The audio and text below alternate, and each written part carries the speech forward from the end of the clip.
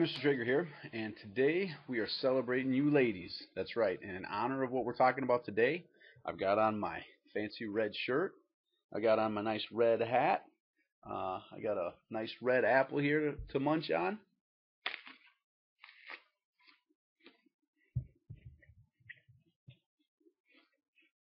I even got my little friend Eggnog right here. Now you might have saw him earlier. Eggnog's our elf on a shelf here. Uh, it's Christmas time here in the great state of Wisconsin, and Eggnog he comes around December time. He checks in on the kids and he he kind of reports back to Santa, makes sure everything's okay. But I figured he's got a nice red hat like me. He's got a little red shirt, little red suit like me. I thought it'd be perfect for him to help me kind of talk about this whole thing with the menstrual cycle uh, today uh, uh, for our podcast. So let me just get a sip of cranberry juice here. Oh, yeah, that was probably a little too much, wasn't it? Yeah. All right, we'll get rid of that. Okay. So here we go. I want to start off. First of all, you need to have the red worksheet, the red uh, note sheet. Now, the note sheet should be a little bit easier because you don't have to do a ton of writing on it because I got all the stuff already on it. But it's going to have all the days on it that we're going to be going through in our uh, podcast here and you will be making some notes and some marks and stuff like that. So make sure you got that red sheet. It should have uh, the six, you know, six blocks on or six squares, and on the back side should have calendar. All right. So if you don't have that red sheet, push pause, go get it, come back, start the podcast up again. All right. So get the sheet if you don't have it. All right. You should have your sheet now. Uh, have it out in front of you because we're going to be writing on a little bit, um, and uh, and then we'll uh, we'll pick it up here. All right. So to start off with, I want to show you uh, the the side view of the female reproductive system that we've been working with. Um, and uh, you know we've been going through all the parts and plumbing. So this this picture, this graphic should look pretty familiar. All right. So what I want to do is I want to show you the front view because this is what basically our notes page is going to have on there. And uh, you can see it's got um, it's got all the parts here. It's it's going to look a little bit different. So we got the uterus right here. Uh, we got the ovaries. We've got the fallopian tube. We got um, the cervix right in here. So we've got all the different parts. It's just a, a, front view, so it looks a little bit different than what we've been working on. Because this is a lot better picture to look. Because this is a lot better picture to look at to actually take a look at what's happening inside the female reproductive system. Starting off with days one through four, it's important to understand that the average menstrual cycle runs 28 days. All right. Now that's average. That means that some girls are going to have a menstrual cycle that's shorter. Some girls are going to have a menstrual cycle that goes longer. Um, it's not uncommon for teenage girls to have differences in, in each month. Um, you know, one month it'll be 28 days, the next month it'll be 26, the next month it might be 31. You know, that's not necessarily uncommon because with all the hormones and changes that are going on in the body, um, you know, those kinds of things can happen. But on average, it's 28 days, we're going to go off of a 28 day cycle to explain what's happening in the menstrual cycle. All right.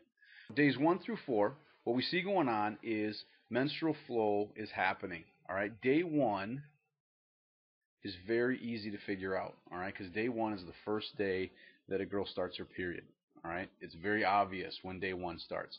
You can mark that on a calendar, put a little dot there, circle it, smiley face, frowny face, whatever it is you want to put on a calendar. That signifies day one. It doesn't matter if the 15th of the month or the 20th of the month. That is day one, all right? Um, and then that's what we basically count off from um, when we're charting the menstrual cycle, all right? So two things are happening in days one through four for the most part. We have active menstruation going on. You can see right there menstrual flow is leaving the uterus. Okay, the uterine wall is breaking down, the menstrual blood is flowing. Okay, and then we also have an egg cell maturing. Okay, if we look right there, we can see uh, this this egg cell is bigger than the rest of them, and like we said before, a girl's born with all the the egg cells that she's going to have. These what are called follicles. All right, and these follicles will mature into one single uh, egg cell. All right. So as the, the the female is menstruating, she is in fact building basically a new egg cell. All right. It's getting ready to be released. All right.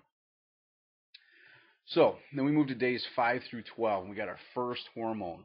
All right, right here. First hormone, estrogen. All right. Uh, we talked about how in the ovaries um, we've got two hormones that are being secreted, estrogen and progesterone. Estrogen is the first one that we're going to talk about. Now, estrogen, I want you to go ahead and circle it. I think it's underlined in your notes. Circle estrogen because it's an important thing for you to know. What it does, it's got two jobs. The first one, go ahead and underline it just like I am. the lining of the uterus grows because of estrogen. As estrogen levels rise, the uterine lining gets thicker and thicker. Now, if we look at our picture right here, if you'll see right there, the uterine wall is, is getting thicker. All right. We notice there's no menstrual blood happening at this point. Uh, menstrual period is over. Um, and so now what's happening is, is that, that estrogen is rising, the uterine wall is thickening, and the second job is, is that the ova now uh, starts to, to develop or mature. Now, ova also is another word for the egg cell. All right. If you want to write the word egg cell next to ova so you know what it means, uh, that's fine. But it simply is the egg cell. It's another word for it. All right. So estrogen has basically two jobs. All right. The first job is the egg cell. The second job is the endometrium. It grows those two things. All right. You can kind of think of it as like a fertilizer. All right. It makes things grow. The egg cell and, and the endometrium, they both start with E. Estrogen starts with E. Uh, should be an easy thing for us to remember. All right. So estrogen, egg cell, endometrium. Look at that. It's like an E right there. All right. So estrogen causes that uterine wall to thicken. Uh, it's pumping through the bloodstream, um, and it's going to continue to grow as we go through the cycle. We get to days 13 to day 14, somewhere in that ballpark. Now, day 14 is an important number to to remember when we're talking about uh, the average of a 28-day cycle. And what do you think is the reason why number 14 is a unique day in a 28-day cycle? That's right. If you divide this in half, you get 14. All right. So day 14 is exactly halfway through the cycle. All right. Now what's happening on day 14, or happening right in the middle of the cycle, is ovulation. Go ahead and underline this word. Ovulation occurs. Now what is ovulation? Ovulation is when this egg cell is released into the fallopian tube. So we see I've got a graphic here, the egg cell right here inside the fallopian tube. All right. So that's what ovulation is. Now, if we look here, endometrium still growing, no menstrual blood present. Right in the middle of the cycle. That's when the egg cell is released. All right. Now, the other thing to remember is the egg cell has only 24 hours to be fertilized. That's it. 24 hours. So it's got to make it from here to here, and somewhere in here is going to get fertilized. All right. It's usually going to take longer than 24 hours to get to the uterus, which is why most of the fertilization takes place here in the fallopian tubes. All right. But uh, but that's what has to happen. Sperm cells will survive about 48 hours, so that's where we get our range of about four days, roughly, where a woman is is what would be considered the most fertile. Ideally, if sperm cells are waiting uh, in the fallopian tube here, when the egg cell is released, that's the optimum conditions for fertilization to take place. All right. But halfway through a woman's cycle, doesn't matter if it's 28 days or 30 days or whatever, it's going to be right in the middle. So 30 days would be day 14. Uh, you know, 32 days would be day 16. Um, 24 days would be day 12. You know, right in the middle of the cycle is when ovulation takes place. All right. Now, once ovulation takes place, now the follicle that released the egg cell, you can see right here, the follicle that released that egg cell secretes a new hormone called progesterone. Progesterone is our second hormone that is released by the ovary. All right. And what progesterone does, it's got a pretty important job, is what progesterone does is it prevents any production of a new egg cell. All right. It basically puts the brakes on everything. It puts the female reproductive system in a holding pattern. All right. Um, I kind of equate it to like a football game when you're kicking the winning field goal, and as soon as the kicker kicks the ball, and that ball's traveling through the air and everybody's watching it as it goes through the air. That's kind of what's happening right now. The the body's kind of waiting to see is fertilization going to take place or not. So really nothing major happens during this next, you know, roughly week, all right? Um, and and during this time progesterone is being released by this what's called the corpus luteum, this uh, this little follicle, all right, secretes progesterone, all right? So the, as the egg cell's still traveling down the fallopian tube, we're waiting to see if pregnancy or if fertilization is going to take place. Now, days 21 through 28, we can see that the uterine lining is starting to shed from the uterus. All right, uh, we got the egg cell right here, so that tells us that the egg cell did not get fertilized. Uh, there's usually a, a chemical reaction that happens that tells the brain that fertilization didn't take place. The brain sends a message to the uterus that we got to get rid of the the endometrium. We got to get rid of the egg cell because we want to grow a brand new one for the next egg cell that's being created. All right. If we look over here, we see that that follicle is closing up. Well, what happens then is the progesterone levels go away. So as progesterone levels go away, that stimulates the menstrual cycle to kick in again. All right, estrogen levels are going to drop, uh, progesterone levels are going to drop, the uh, endometrium is going to shed from the uterine lining, and then the whole thing's going to repeat itself again. All right. So right now we would have the lovely thing, ladies, that we call cramps. All right. And uh, and this is where the, the uterus is contracting and is trying to get rid of all that menstrual menstrual fluid, menstrual blood. Then we start day one again. All right. So that's the basic gist of what's happening with the hormones and what's happening within the menstrual cycle. All right. Now let's take a look at what happens if fertilization takes place. Now you don't have a graphic of this. I'm just going to show you this real quick. But what what changes is, and, and what we have here is all these are showing different timelines. All right. So this is probably like within within eight hours, and this is within let's say 12 hours, and this is within let's say you know 24 hours, and this is you know what's happening is is the egg cell splitting. But we see here we have fertilization takes place. We see that little sperm cells in there and fertilizes the egg. All right, and now we see the egg splitting, and we see these multiple uh, changes that are happening within the egg cell. And what's going on is as it goes through the fallopian tube, we can see all these changes that are happening as it travels down that fallopian tube until eventually it implants itself in the uterine wall. And then from this point is where the umbilical cord is going to grow and literally the baby is going to grow.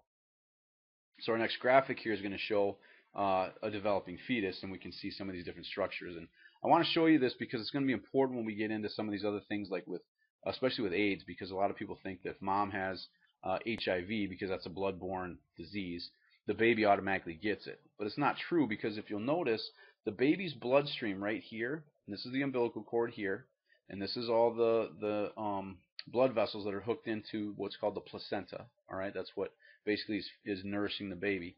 We see the placenta then is um, connected to the uterine wall, which is right here. Okay, here's mom's blood vessels right here.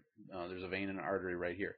But notice that mom's mom's arteries do not touch or come in contact with the baby's arteries. All right. So what happens is all the nutrients from mom's blood simply diffuse over.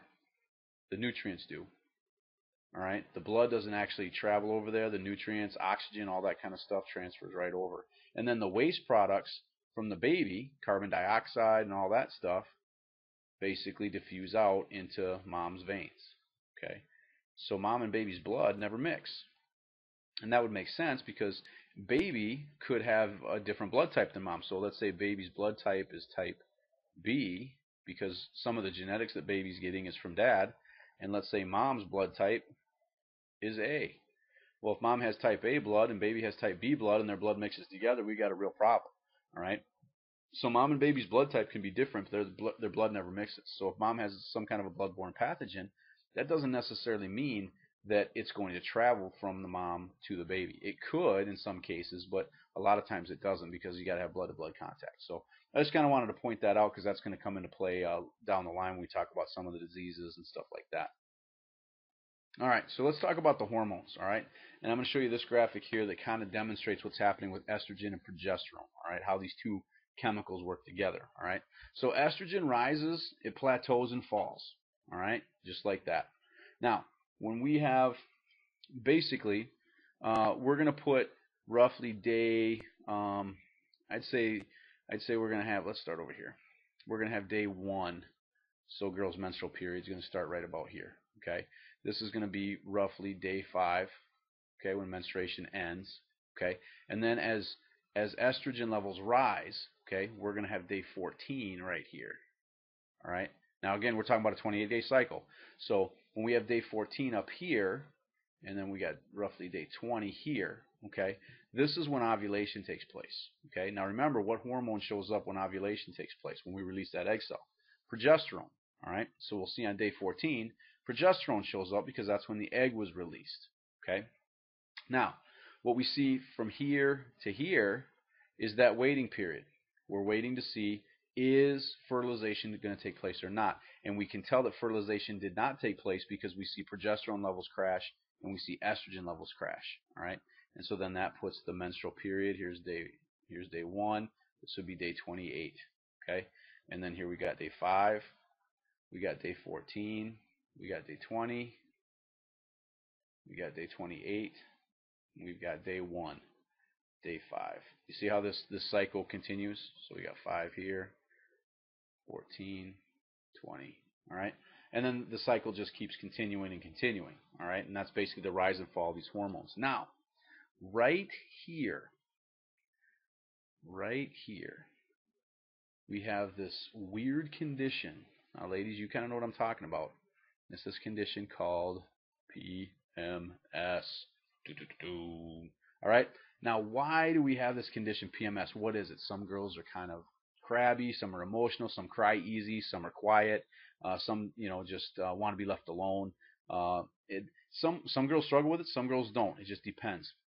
The problem is is that you've got two hormones that are are at a high level right here, and then in a very short period of time, we see this this big crash head downward. All right, we see we got these two hormones that are high, and all of a sudden they crash down low, and that hormone shift creates some some problems in terms of our mood and emotions. All right, and then that leads into you know we got cramping and all that kind of stuff, which I'm sure is no picnic.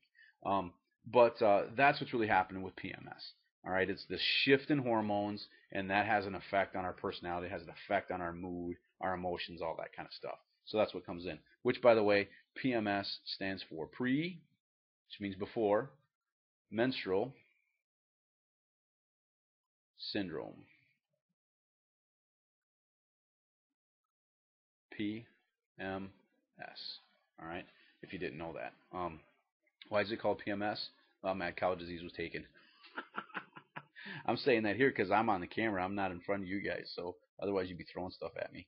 Now I want to show you what the difference is um, when we have fertilization take place, so a girl gets pregnant. Okay, so how the hormones are going to look. We have estrogen rising and progesterone's released, and we see a huge difference in what happens with estrogen and progesterone. All right, so here we got down here, like we had before, we have day five, we got day 14, so ovulation takes place, but now fertilization happened. All right, and so progesterone never goes away. Estrogen levels never drop. Why is that? Because we need to keep the endometrium there. We don't want to get rid of it. Okay. Now the other thing is is that progesterone sticks around because we do not want another egg cell. Why? Because the egg cell we have has already been fertilized, so we don't need a new one. Um, and so everything is, has come together the way it was designed to. Fertilization took place. We're going to take care of this this egg cell, this developing fetus, uh, until it's born 10 months later. All right. So progesterone is going to stick around so that no more egg cells are released. Um, estrogen levels are going to stay around so that the endometrium stays in place, develops the uh, placenta, so the baby has something that it get nourish, gets nourishment from. All right. So we see a very big difference between the um, the menstrual cycle up and down versus what the menstrual cycle looks like once fertilization takes place. It's a big difference. All right. Now we're going to flip our uh, page over and we're going to go to the calendar section. All right, because we're going to take a look at how to chart uh, the menstrual cycle. All right. So here's what we're going to do. Um, we're going to look at. We're going to say that this is the month of February. Don't have a whole lot of room up here. Here's February, and here's March. All right, we're going to make it real easy. Okay, we're still working on a 28 day cycle. February um, uh, has 28 days in it. Okay, so let's just make life easy and say that um, that uh, girl starts her period. She has a 28 day cycle. She starts her period on day one of February 1st. Okay, so she has her period date February 1st, 2nd, 3rd, 4th, maybe the 5th. It's usually four, five, six days trails off. Okay. So now, what day is she going to ovulate? Okay, it's a 28 day cycle. It's halfway through the cycles when she ovulates. So that means that day 14 is when ovulation is going to take place. Okay, this is when she's released the egg cell. Okay, so if that egg cell doesn't get fertilized, when is she going to start her next period? Okay, it's not going to be day. It's not going to be February 28th. That's the last day of the cycle. Her first, her next menstrual period is going to be on the 1st of March.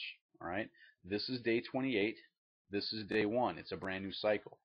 Kind of put a put a um, a line right there. Okay, and that's the mistake that a lot of people make is they say, "Oh, a 28 day cycle. She starts her period on the 28th day."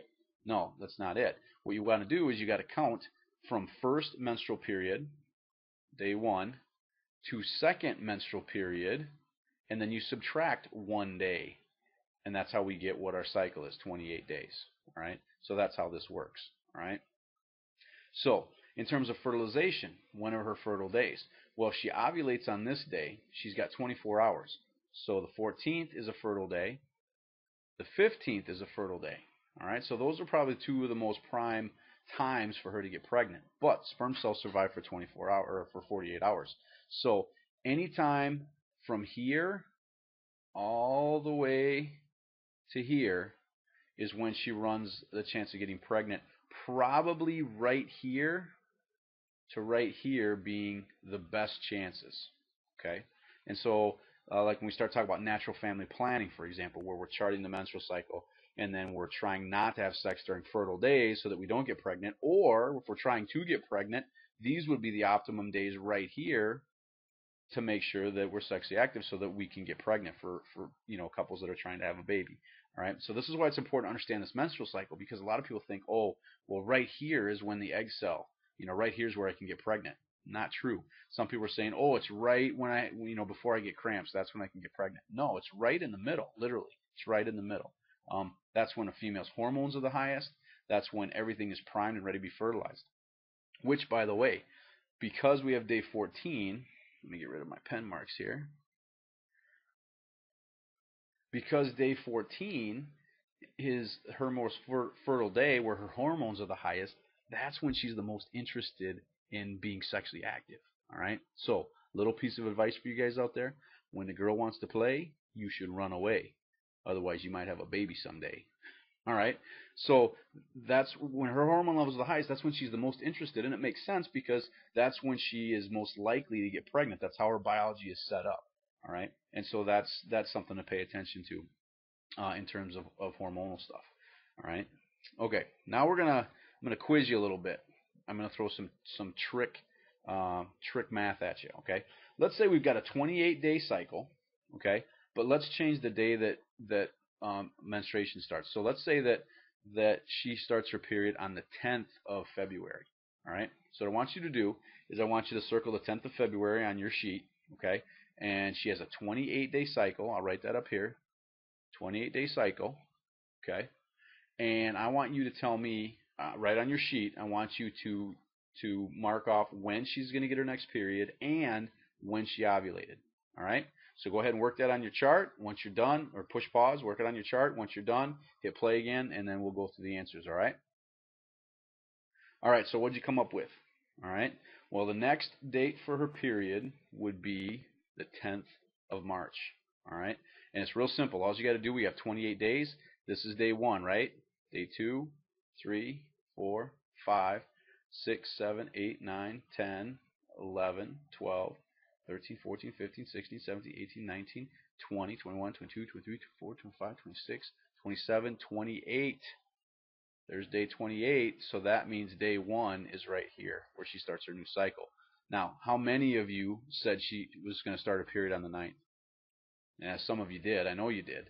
Uh, because, again, we run into that problem of saying, oh, 28 days, that means she starts her period on the 28th day. No, She's the 28th day is the last day of the cycle. She starts her menstrual period the day after. All right, that's going to be important to understand. So, 28 days. When did she ovulate? She ovulated on the 14th day. So 5, 6, 7, 8, 9, 10. That's going to put it at what, day 23? Or I'm sorry, the 23rd of February right here. This is when she ovulated. All right? So check your chart. Make sure that you got those dates right. All right? Day 1 was here. This is halfway this was day 14, and then we have day one down here. All right. See how the days of the of the the dates on the calendar can get you all confused. All right. We're gonna try another one. See how you do. All right. Let's change it up, and we're gonna go 26 days. All right. And she's gonna start her period on the 18th of February.